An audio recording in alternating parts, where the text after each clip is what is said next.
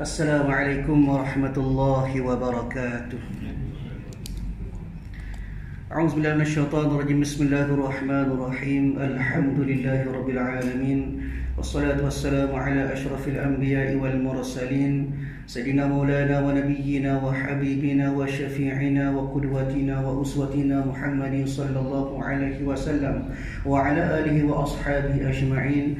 اللهم فقهنا في الدين وافتح علينا فتوح العارفين واجعل أعمالنا خالصة لوجهك الكريم يا أرحم الراحمين. اللهم افتح علينا حكمتك وانشر علينا من خزائن رحمتك يا أرحم الراحمين رب اشرح لي صدري ويسر لي أمري واحلل عقدة من لساني يفقه قولي والحمد لله رب العالمين آمين قال المصنف رحمه الله تعالى ونفعنا وإياكم بعلومه في الدارين آمين الحمد لله Pertama selamanya marilah sama-sama kita panjatkan setinggi-tinggi kesyukuran kita kepada Allah Subhanahu wa taala.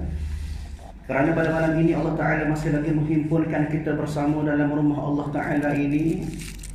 Allah Ta'ala masih lagi mengurniakan kepada kita daripada nikmat-nikmat yang diberikan oleh Allah Ta'ala kepada sekalian hamba-hambanya.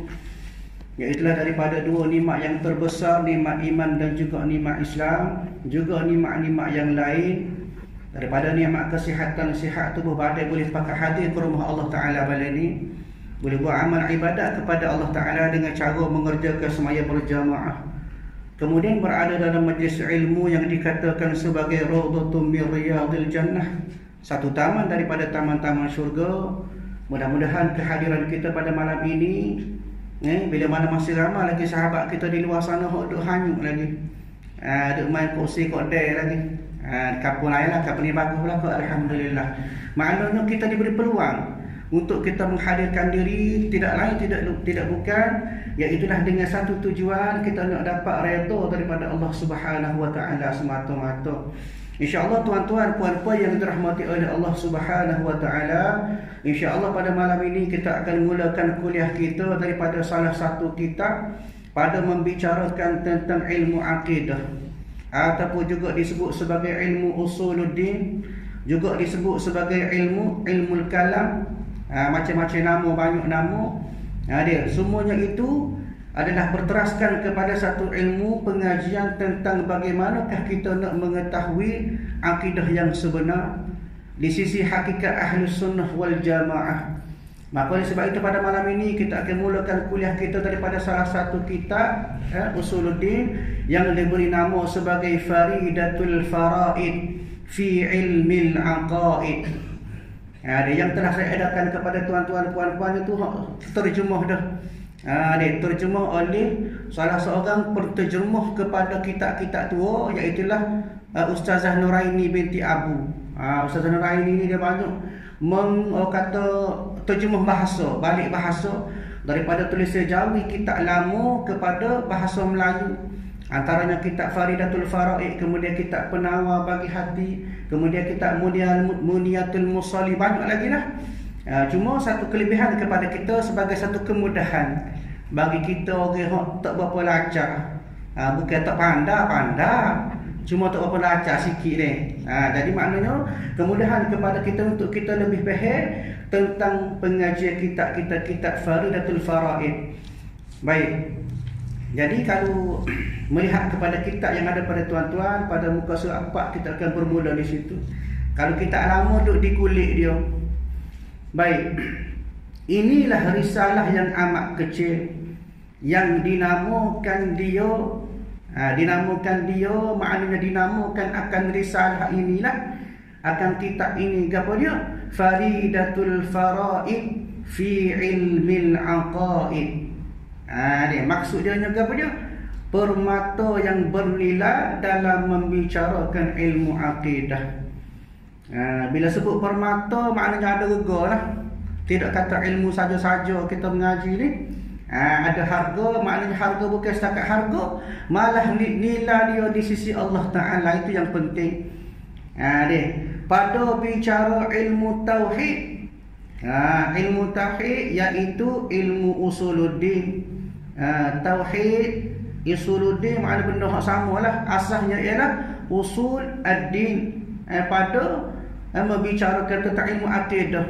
Ha, atas mazhab Imam Asy'ari bila sebut Imam Abu Imam Asy'ari iaitu di sini kembali kepada Imam Syekh Abu Hasan Al-Asy'ari. Siapakah dia ni? Ha, Imam Abu Hasan Al-Asy'ari merupakan kalau kita gak disebut sebagai a'immah mazhab. Ha, ni bagaimana Nabi sebut sallallahu alaihi wasallam disebut kepada kita satu hadis kata Nabi sallallahu alaihi wasallam khairul qurun qarni summa yalunukum summa yalunukum pasal kata Rasulullah sallallahu alaihi wasallam Nabi kata sebaik-baik umat, sebaik-baik apa ialah pada apa aku. Kemudian summayaluluhum. Ha, kemudian apa selepas aku, guru selepas aku. Zaman siapa? Zaman sahabat. Ha, summayaluluhum. Kemudian selepas pada tu, zaman siapa pula? Zaman tabi'in. Fasa kata Rasulullah. Kemudian Nabi pun senyap. Maka kata ulama rahimahullah ta'ala kepada kita. Apakah maksud Nabi senyap? Maknanya Nabi senyap, Nabi tak garanti. Kalau kena lah cara ikutan suka hak Nabi buat, maka kena lah. Kalau dek gak dek lah. Makna kata Nabi tak jamin. Ya, maka atas sebab itulah tuan-tuan yang dirahmati oleh Allah pada abad yang ketiga. Ataupun pada abad tabi'in, maka pakat ulama-ulama, pakat buat mazhab. Yang dikatakan sebagai a'imah mazhab. Sebab itulah syarat pertama nak jadi mujtahid mutlak. Ataupun orang-orang yang membuat mazhab, ialah yang kena berada pada abad yang ketiga. Mana kata dia lahir itu sebelum pada tahun 400 selepas hijrah. Ha, sebelum tu ya. Kalau lepas tu tak boleh buat mazhab. Ha, walaupun hebat secara mana pun. Sebab itulah kata ulama. Al-Imam Al-Ghazali rahimahullah ta'ala. Orang hebat. Bahkan kata ulama sebut. Laukan Nabi ba'ala Nabi. Lakan Al-Ghazali. Kalau adalah Nabi selepas Nabi. Maka tak lain tak bukan. Itu ialah Imam Al-Ghazali. Noyaknya hebat Imam Al-Ghazali. Tapi oleh kerana dia berada pada abad yang kelima, maka dia pun tak boleh buat mazhab. Atas sebab itu kata ulama dia ni berpegang kepada Asy'ariyah Maturidiyah pada pada bahagian usuluddin dan juga pada bahagian fiqh kata ulama dia mengikut mazhab Syafi'i rahimahullahu taala. Ya, maka oleh sebab itulah tuan-tuan yang manakala pada bahagian us pada bahagian tasawuf dia ikut pula pada Imam Abu Junaid Al-Baghdadi, Abu Qasim Al-Qushairi. Maka mereka-mereka ini digelar sebagai sebagai a'immah ataupun mujtahid mutlak. Orang yang boleh mengeluarkan pendapat. Ha, deh, kalau kita tak boleh kita kita jauh jenak lah. Ni. Mana nak sebelum lahir pada tahun 400 Hijrah. Barulah layak digelar sebagai mujtahid mutlak. Ha, di sebab itulah tuan-tuan yang terhormati Allah mereka inilah sebenarnya yang membawa aliran masing-masing bagi nak menyampaikan jalur ataupun apa-apa yang dibawa oleh Rasulullah siapa kepada orang-orang yang mutaakhirin, orang terkemudian. Ha, sebab itulah pentingnya kepada kita berpegang kepada mazhab. Kalau kita nak direct kepada Nabi kan, ha, berat lah kita. Setara Imam Al-Ghazali pun pegang kepada mazhab. Apa guna? Eh? Para mujtahid untuk ni buat mazhab sebagai kemudahan kepada kita. Ya, ni kita dok mentaka boleh mengaji sikit kenal dua tiga butir hadis orang mengaku tak sih ikut ulama. Tak sih ikut sahabat. Nak ikut siapa? Ikut nabi dengan Quran. Quran hadis yang nak ikut. Ha, maka itu satu kesilapan kepada kita. Dan ulama buat siap maka kita turutlah tak perlu kita mengkaji. Ha, dia turut hak mana orang tua kita buat orang alim-alim ulama kita buat dah. Dia tu lebih pandai mengaji daripada kita kaji daripada kita lagi Ha, maka itulah yang dikatakan sebagai Imam Abu Asy'ari rahimahullahu taala, maknanya Abu Hasan Asy'ari merupakan salah seorang mujtahid mutlak ataupun merupakan a'immah mazhab pada bahagian ilmu akidah. Ha, kena faham. Begitu juga kalau fiqh pak wajib pilih salah satu. Tak boleh pakai belaka, tak boleh buai belaka. Ha, kenapa jadi nasi kabu? Betul nasi kabu sedap, tapi pada bab pemahaman kita ibadat kita jadi kucar. Ha, dia kata ulama rahimahullahu taala seesok kita akan bawa panji masing-masing. Masing-masing a'immah mazhab dia akan duduk depan seesok. Ha, ni Maliki duduk depan, Syafi'i duduk depan, Hanafi duduk depan, Hambali duduk depan. Ha, Imam Abu Hasan Asy'ari duduk depan, Abu Mansur. Begitulah semua mujtahid mutlak akan berada di hadapan sebagai ketua kita. Kenapa? Kerana kita merupakan pengikut kepada mereka itu. Ha, dia, kalau kita campur gaul dalam bab ambil semaya, kita ikut mazhab mazhab Syafi'i. Maknanya rambut ni wajib tiga lah rambut. Ha, dia, mazhab Syafi'i tiba-tiba dalam bab lain, bab ketuk, bab bantas semaya, ketuk tak batal. Mazhab apa? Mazhab lain. Hambali dan sebagainya. Maka esok di manakah kita akan berada? Kita pergi Pak Syafi'i, Syafi'i kata, Pak Semaya macam mana? Oh, kita ambil Semaya, kita rambut tiga lah. Ha, betul, Syafi'i kata, masa aku. Bak batal lah ke mana? Bak batal, rambut ketuk tak batal. Ha, maka tu kata, ha, tu bukan masa aku. Pergi cari masa demo lah. Kalau dia untuk tunggu. Ini merupakan sebagai satu sebab kita kena amanah kepada ilmu. Amanah kepada ulama. Jangan duk campur gaul. Ha, makna dalam bidang fiqh wajib pilih salah satu. Ha, ada pun pada bab ilmu akidah dia tidak banyak banyak oh, kata banyak perkara-perkara yang melibatkan sebagai perkara-perkara furuk. Lepas tu kita perasan kalau bab fiqh orang duk balah semacam bab gini, bab gini, bab gini. Masing-masing pendapat. Kenapa banyak yang menyebabkan berlakunya silap-silap faham? Kenapa berbeza pendapat? Ha, dia. Bagi orang-orang ulama yang atas tak apalah. Kerana dia kata dia berbeza pendapat pun dia sudah faham. Walaupun kita berada di mutaakhirin kemudian ini kena pilih betul-betul. Uh, jangan campur gaul. Esok-esok kita jadi serabu. Uh, dia. Maknanya biar kita amanah kepada pimpinan kita. Uh, ulama-ulama yang buat dah. Baik, sambung dalam kitab semula. Atas mazhab Imam Abu Hasan Abu Hasan Al-Asy'ari terhimpun padanya beberapa banyak akidah. Ha, ni.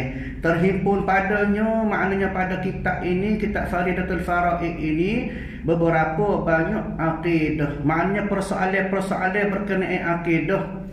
Ha, ni. dan beberapa banyak masalah maknanya akan merung, akan merungkaikan dia akan sebut dia akan hurah kepada kita tentang permasalahan yang berlaku pada masalah pada masalah usuluddin ataupun akidah himpunan hamba yang sangat harap kepada Allah Subhanahu wa taala maknanya himpunan uh, muallif ataupun pengarang kita ini yang harap kepada Allah taala akan taufik dan hidayah. Ha, ini satu sifat orang yang merendah diri. Ha, bagaimana dia sentiasa nak kepada taufik dan hidayah Allah. Ha, sebab kita pun tak lepas. Kita pun kukuk mana pun kena pergi kepada taufik dan hidayah Bukan nama orang ni taufik hidayah ni. Taufik bagaimanakah diberi satu perasaan, satu rasa kita nak buat amal ibadah. Ha, ni kita berasa nak mari semai Jumaat, ha, itu taufik. Kita berasa nak puasa sunat air komi, itu taufik. Ha, adapun hidayah ialah bagaimanakah pelaksanaannya yang diizinkan oleh Allah Taala. Kita nak semaya ada dah taufik, tapi tiba-tiba tu heavy kita ni sakit gaul ha, maka tak ada hidayah di situ. Bukan bermaksud hidayah ni masuk kita pihak Islam semata-mata dah setiap geri-geri kita segala perbuatan kita amal ibadat kita kebajikan kita semua nak kepada taufik dan hidayah. Ada taufik ada hidayah insya-Allah akan kena dengan kehendak Allah taala. Maka sebab itulah pengarang kita ini sebut eh, yang sangat harap kepada Allah akan taufik dan hidayah. Ya, dan bahawa dimudahkan baginya segala yang payah. Ha, dia sebagaimana Allah Taala sebut, inna ma'al usri yusra. Setiap kepayahan pasti ada kemudahan dia. Supaya kita semaya buat amal ibadat lah. Ha, nampak payah lah ni dia. Payah juga. Sepeka dengar-dengar pun tak bangun subuh. Kapul lain lah. Kapul ni bangun awal belakang. Alhamdulillah. Maknanya dari segi kepayahan kita tu nak kepada kemudahan pada setiap perbuatan kita. Ha, syaratnya nak kepada kita ni lebih usaha, lebih mujahadah kepada Allah Taala. Ha, kalau setakat harap tapi dicokoh tak ada usaha ikhtiar tak jadi juga. Mana nak kepada biar ada perasaan supaya Allah Taala mudah belaka segala kerja buat kita, segala amal kebajikan kita. Ha, ni. Ahmad ibnu Muhammad Zain bin Mustafa bin Muhammad Al-Fatani. Ha, ini nama pengarah kitab Faridah ni. Ha, Ahmad ibnu Muhammad Zain bin Mustafa bin Muhammad Al-Fatani. Ha, ni maknanya tu nama dia. Okey, tengok lah menyebut dia ni sebagai salah seorang saudara kepada Syekh Daud Al-Fatani. Ha, anak-anak beranak dia belakang orang tani belakang ni. Ha, dia. baik haddarallahu ta'ala riyadan bulughil amani wa nafa'a bi hadhihi risalatil muslimin amin. Yani haddarallahu ta'ala. Maknanya mudah-mudahan Allah Ta'ala menghijaukan. Gapa dia? Riyadu rajai Akan kebun-kebun. Ha, ni, Akan kebun-kebun Bibulughil amani. Ha, ni, Supaya sampai dengan kehendak dia segala cita-cita ha, Itu maksud dia. Maknanya mudah-mudahan Allah Ta'ala ni beri satu eh, Kesegaran maksudnya atas usul akidah kita Biar sentiasa segar. Ha, dia Biar sentiasa hidup. Tak si akidah kita sebagaimana akidah yang mati Biar hidup sama maknanya. Sehingga akidah kita biar kemas semua Itu maksud dia. Ha, ni. Riyadu rajai bululul amani mana supaya di, di dihijau ke akhir kebun. Ha, kalau kebun kalau hijau tak suka lah kita ni. Subuh. Mana begitu juga pada segi hukum akidah kita. Wa nafa'a bi hadhihi risalah al muslimin. Eh mudah-mudahan wa nafa'a memberi manfaat bi hadhihi risalah akan risalah ini akan kita ini kepada orang muslimin. Amin. Ini satu satu doa kepada kita oleh pengarah kita eh Syekh uh, Muhammad Zain eh, bin Mustafa bin Muhammad Al-Fatani. Jadi sebagai mukadimahnya marilah sama-sama kita baca uh, Al-Fatihah dan kita hadiahkan kepada pengarah kita ini Syekh Ahmad Ibn Muhammad Zain bin Mustafa bin Muhammad Al-Fatani. Al-Fatihah.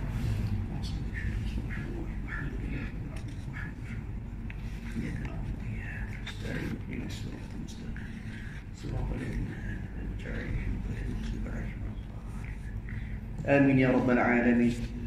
Tuan-tuan puan-puan yang dirahmati oleh Allah Subhanahu wa taala, maka sekali lagi amal sebut di sini kita ini akan membicarakan tentang ilmu akidah. Ilmu yang berkaitan dengan akidah kita. Ha, bahkan kalau kita faham mula ilmu akidah ni merupakan satu daripada benda yang perlu keutamaan kepada kita. Bahkan kata ulama eh, ada beberapa ilmu yang wajib kita belajar ataupun dikatakan sebagai fardu ain. Ilmu yang pertama ilmu usuluddin. Ilmu ni lah. Ha, ni usul sebab apa? Awaluddin ma'rifatullah. Ha, ni awal-awal agama ialah bagaimana kita nak kenal Allah. Ha, caranya kena mengaji lah. Ha, bukan cakap atas jadah kabar-kabar kenal Allah. Tak. Kena mengaji. Ha, bagaimana nah, nak kenal Allah Ta'ala adakah ngaji ni ngaji ngaji cuba sama benda-benda lain tak dia ngaji khusus kita kenal Allah Taala. Bahkan ulama kita bagaimana disusun oleh Syekh uh, Imam um, Abu Hasan Asy'ari dan Abu Mas'ud Al-Maturidi memberi penekanan kepada kita. Satu konsep untuk kita kenal Allah bagaimanakah kita mengenali melalui dengan sifat 20 ha di situ kita asyik sifat 20 Asal ngaji lah sifat 20 kau pelipala Dok. Sifat 20 ialah bagaimana kita kenal Allah Ta'ala dengan lebih rapat Bahkan kata ulama rahimahullah taala, kalau kita sendiri tak sih kenal Allah taala, maka kita seolah jahil serba-serbi. Bagaimana disebut oleh Imam Sayyidina Ali karamallahu wajhah. Ha, Sayyidina Ali kata kan, "Man za'manu ilahana mahdud faqad jahala al-khaliqul ma'bud." Nah, ini kata kata uh, Sayyidina Ali radhiyallahu anhu dia kata kan, barang siapa yang menganggap bahawa Tuhan kita tu mahdud, uh, terbatas, ada hak dia tak bisa. Ha maknanya kuasa dia tu hanya ada sekat-sekat. Maka dia telah jahil. Lagu mana? Iaitu tidak kenal dengan Tuhan sang pencipta. Ini sebut dalam kitab Hilyatul Awliya pada bab 1 muka surat 73 bagaimana juga Imam Al-Ghazali rahimahullahu taala sebut macam mana? La tasihhul ibadah illa ba'da ma'rifatul ma'bud.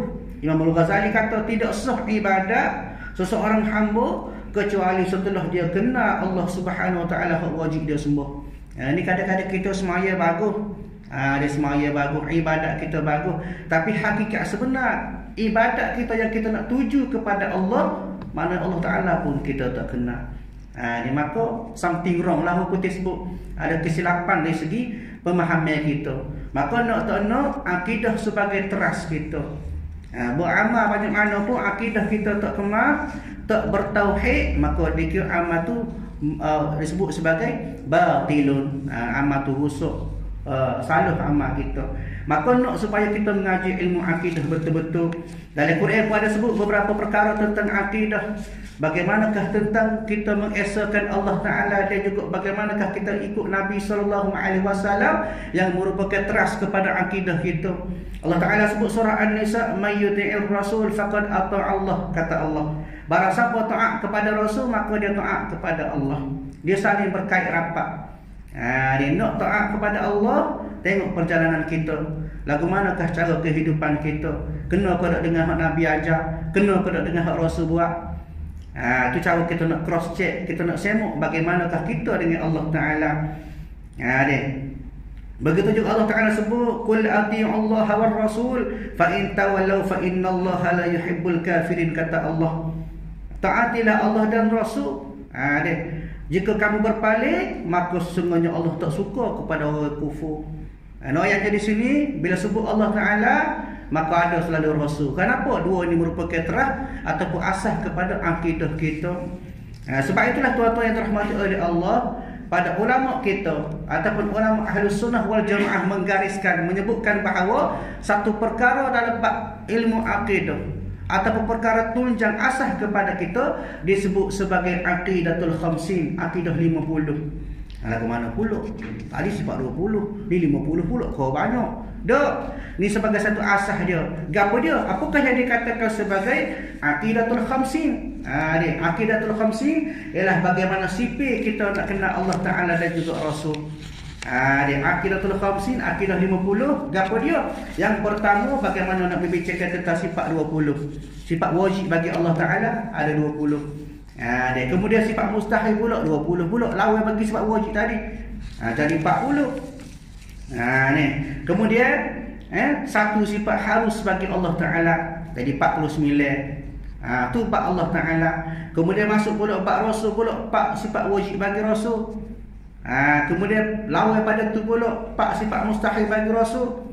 Ha, kemudian tambah soal lagi. Ha, apa dia sifat harus bagi nabi dan rasul. Ha, campur tadi 41, campur 4, campur 4, campur 1. Mana 41 campur 9? Jadi 50. Ini yang dikatakan sebagai aqidatul khamsin, aqidah 20. Hak kita kena faham secara ijmalan kata ulama. Ha, ijmalan maknanya secara detail kita kena faham. Dia, biar kita ni pehel dalam hati kita kemah kemih dengan benda yang dikatakan sebagai aqidatul khamsin ini barulah kita boleh kenal Allah Taala betul-betul. Eh, setakat kita kenal dalam semaya kat takbir Allah buat apa kita semaya dua tiga rakaat apa berasa kita kenal Allah Taala dah. Dah kenapa? Kerana perlu kepada detail baru barulah boleh menghadirkan rasa cinta yang betul-betul kepada Allah Taala. Eh, kadang-kadang kita hanya pandai sebut Allah Taala Ha, siapa dia Allah Ta'ala kita tak nak royak. Kalau kita tahu Allah Ta'ala tu Tuhan ha, Maka tak kenal lagi. Nak supaya kita mengaji Biar kita faham Berkenaan dengan ilmu-ilmu yang berkaitan dengan ilmu akidah. Dan termasuk juga Iaitulah bagaimanakah cara kita mengaji Kitab Faridatul Faraid eh? Yang mana kita nak mengaji ni. Tuan-tuan yang rahmati oleh Allah Subhanahu Wa Taala disebut juga oleh para ulama rahimahullahu taala Bagaimanakah cara ahli sunnah wal jamaah mengenal Allah Ta'ala? Aku nak sebut sikit? Ha, dia, Lagu mana? Ha, kata ulama Andalilin Muwafiqun lil haqqi Iktiqadun jazim. Tiga cara. Yang pertama iaitulah dengan dalil. Ha, Kenapa? Kerana ada sesuatu mesti ada dalil. Tak? Ha, ada Allah Ta'ala Ada dalil dia. Hak dalil lahirnya Ada kita sebagai makhluk bila ada kita sebagai makhluk, ada pencipta dia. Disebut sebagai khalik. Orang yang buat. Mustahil kita ni ada dengan sendiri. Ya, maknanya nak kepada dalil. Bila sebut dalil, maka dia ada dalil nakli, dalil akli. Dalil daripada Quran disebut sebagai dalil nakli. Begitu juga daripada Al-Hadis, itu dalil dalil nakli. Ha. Ada pun yang perlu disebut sebagai dalil akli, dalil, dalil daripada akal daripada pendapat-pendapat daripada pemikiran-pemikiran hak logik. Ha ni itu dipanggil sebagai dengan dalil itu yang pertama. Yang kedua ialah muwafiqun lil haqqi yang bertepatan dengan hak betul. Bagaimanakah yang dikatakan dengan hak betul? Hak betul pada pemahaman ahli sunnah wal jamaah. Ha, antaranya ialah bagaimanakah ahli sunnah wal jamaah menafikan Allah taala itu ha, bersifat dengan ada tempat Allah Ta'ala duduk sikit-sikit Allah Ta'ala duduk semana ada tempat maka itu adalah penafian bagi ahli sunnah wal jamaah kerana apa? kerana pada asalnya atau pada asasnya eh, bagi ahli sunnah wal jamaah menafikan Allah Ta'ala itu bersifat seperti mana makhluk Nah, maknanya biar kena berbetulnya dengan pahaman ahli sunnah wal jamaah. Yang ketiga iaitulah bagaimana disebut sebagai i'tiqadun jazim. Makna i'tiqad kita kepercayaan kita biar kemah. Ha, tidak ada was-was, tidak sok. Ha, dia main yolo ko, yolo ko. Ha, sebab apa? Sebab bagai tak nampak. Bila bagai tak nampak, dia mari selalu rasa. Ha, dia was-was kita tak percaya. Eh, dia main eh, eh, kan? Benda ni benda akidah. Akidah kata ulama, eh, boleh jatuh kepada redah walaupun tanpa sengaja. Kena ingat molek. Ha, dia bak ridah, bak murtad keluar daripada agama Islam sengaja tak sengaja jatuh kepada ridah juga. Bagaimana cara? Ridah dia ada tiga cara. Keluar daripada Islam tiga cara. Yang pertama eh bil bil qauli dengan kata-kata kita. Ha, dia kita sebut gini, eh Quran ni bukan bukan kalam Allah. Ha, ataupun Quran ni bukan mujizat Allah Taala bagi Nabi. Ha, dia kita kata gitu, kita bergurau, tapi kita kata gitu, jatuh murtad juga walaupun bergurau. Itu dengan eh, dengan kata-kata. Yang kedua bil af'al dengan perbuatan kita. Eh, kita duk hina ke masjid kau ni, naik balasah tak apa pakai kasut kau. Eh tak apa ni. Ha, nah. walaupun rumah Allah tak apa, kita nasi lepak. Ha, dia niat nak bergurau. Eh tapi tak kena cara. Boleh jatuh murtad. Kenapa? Niat kita tu walaupun tidak sengaja jatuh juga. Kenapa menghinakan rumah Allah Taala? Dia harus follow ni lah. Apa? Uh, orang duk bagi batu apa banjir baru ni dia. Ha, tidak tempat kita negara lain ni. Ha, dia. Oh muju ada lah, ada sikit-sikit ada. Ada juga rezeki kita. Ha, ya kecil lah tu. Uh, siapa belah kita mujulah ada datuk sikit-sikit siapa juga belah ada rezeki juga kita uh, kadang-kadang kefahaman walaupun benda biasa Maka kadang-kadang bila benda tu boleh buatkan akidah boleh jatuh kepada ridah murtad. Yang ketiga disebut sebagai i'tiqad bagaimanakah pegangnya kita. Uh, kita nak kata eh Allah Taala ni pelik wa hijau. Lagu mana dia nak tarbiyah Allah ni uh, luah gini mu. Uh, maknanya ada sifat keraguan dalam i'tiqad kita. Maka kadang-kadang boleh bawa kepada ridah murtad juga wal billah. Sebab itu kena mengaji. Takut-takutnya tanpa sedar kita jadi geleceh. Eh, sebab itu kadang-kadang kita kata ulama, eh, kita ni kenalah tajdi di syahadah. Kena mengucap semacam. Tak kira lah kita Islam dah pun. Ah, dia kita jadikan sebagai rutin kita setiap hari, setiap malam. Ya, dia bangun pagi kita syahadah, kita nak tidur pun kita syahadah. Kenapa? Kerana kita khawatir tengah-tengah kita kehidupan kita daripada pagi sampai tiada. Kadang-kadang kita tak sengaja tertubik benda-benda. Ya, dia tak patut. Maka kena berhati-hati. Caranya kita nak supaya ialah bagaimana kita kena mengaji biar kita faham supaya kita tahu benda ni boleh buat, benda ni tak boleh buat, benda ni salah, benda ni betul. Ya, ni tuan-tuan yang dirahmati oleh Allah Subhanahu Wa Taala, kita masuk dalam kitab sudah. Baik. Alhamdulillahilladzi ha, kita sebut Alhamdulillahilladzi asla'a fi samawati qulubil mu'minin syumusal ma'rifati musyrifatan bi anwarit tauhid wal yakin. Ha, Alhamdulillah. Segala puji itu bagi Allah Taala. Maksudnya lagu mana? Puji itu milik Allah. Ha, itu maksudnya. Puji itu bagi Allah. Bagi lagu mana? Maknanya milik Allah. Kenapa? Kerana lazimnya segala puji itu atas kesempurnaan. Kita semak orang puji. Kita kaya orang puji. Ini kita sempurna, kita pijak pandai orang puji. Maknanya segala itu daripada kesempurnaan. Ha, kalau kita uduh, kita puji. Ha, kenapa? Uduh itu kekurangan. Ha, maka tak puji. Bila mana ada kesempurnaan, maka orang puji. Hakikat kesempurnaan ialah bagaimanakah kesempurnaan itu diberikan oleh Allah Ta'ala kepada kita. Sebab itu bila orang puji, kena sebut Alhamdulillah. Kita kembalikan pujian orang itu kepada Allah Ta'ala. Ha, kenapa kita tak layak menerima pujian? Masalahnya kita bila orang puji kat telenggak dia, luah hidung-hidung. Kapal lain lah, kapal ni bagus, tunduk, tawaduk belakang. No ayatnya kadang-kadang kita tak kita rasa eh, kita rasa angkuh dengan diri kita.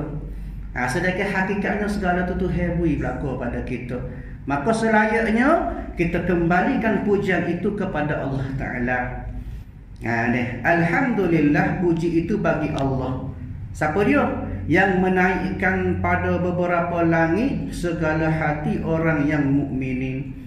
Ha, maknanya yang menaikkan maknanya mengangkat pada beberapa langit segala hati orang-orang mukmin orang beriman. Ha, ni. Akan beberapa matahari pengenalan maknanya akan beberapa matahari ke, uh, pengenalan ni maknanya kefahaman kepada kita cerah hati kita padahal cemerlang ia dengan cahaya tauhid dan yakin mana hati kita tu cerah dengan tauhid dengan sifat yakin ha, maknanya pengarah kitab ini memulakan kitab Faridatul Fara'id ini dengan sifat puji kepada Allah Ta'ala atas nikmat kita faham ha, itu maksud dia Ha, dia Tuhan beri. Kadang-kadang kefahaman ni pun Tuhan beri juga orang-orang yang Tuhan pilih. Ha, kadang-kadang kita, kadang-kadang kita mengaji kok, kita belajar apa-apa. Setengah orang boleh seratus peratus faham. Setengah orang faham sikit ya. Setengah orang faham separuh. Maknanya, nak kepada kita puji kepada Allah bila mana Allah Ta'ala beri kita faham. Lebih-lebih lagi faham pada bahagian ataupun bidang agama. Ha ni maha. Kenapa? Kerana eh, Cara satu cara Allah Taala suruh kita jadi baik ialah Allah Taala wipai agama. Eh kata ulama may yuridillahu bi khairin yufaqihu fid din. Barang siapa yang Allah Taala suruh kita ni jadi baik, maka Allah Taala kewi kita ni kefahaman dalam bahagian agama. Termasuklah kita faham pada berakidah yang menjadi pegangan kita sebagai orang Islam ahli sunnah wal jamaah. Ha, sebab itulah tuan-tuan dirahmati oleh Allah Subhanahu Wa Taala nak kepada kita ni biar ngaji betul-betul biar faham ilmu akidah mudah-mudahan jadi satu bantuan kepada kita untuk kita lebih kenal Allah Taala dalam masa sama menyebabkan kita semakin kemah bagian kita semakin kuat semakin guguh dan menyebabkan setiap masa hati kita bergantung harap kepada Allah Subhanahu Wa Taala dalam segala kerja buat kita insya-Allah والصلاة والسلام على ترجمان الوخي وخيته ودليل وحدانية سيدنا محمد المبعوث بباهر المعجزات لتأييد رسالته وتصديق هدايته InsyaAllah kita sambung kuliah kita pada masa akan datang deh. Auzubillah minasyaitonir rajim. Bismillahirrahmanirrahim. Alhamdulillahi rabbil alamin. Wassalatu wassalamu ala asyrafil anbiya wal mursalin wa ala alihi wa ashabihi ajma'in. Allahumma inna nas'aluka ridhaka wal jannata wa na'udzubika min sakhatika wan nar. Allahumma innaka 'afuwun karim tuhibbul 'afwa fa'fu 'anna wa 'an walidina wa 'an jami'il muslimina wal muslimati wal mu'minina wal mu'minat bi rahmatika ya arhamar rahimin. Allahumma rabbana atina fid dunya hasanah wa fil akhirati hasanah wa qina 'adzaban nar. Wa sallallahu ala sayyidina Muhammad wa ala alihi wa ashabihi أجمعين والحمد لله رب العالمين. السلام عليكم ورحمة الله وبركاته.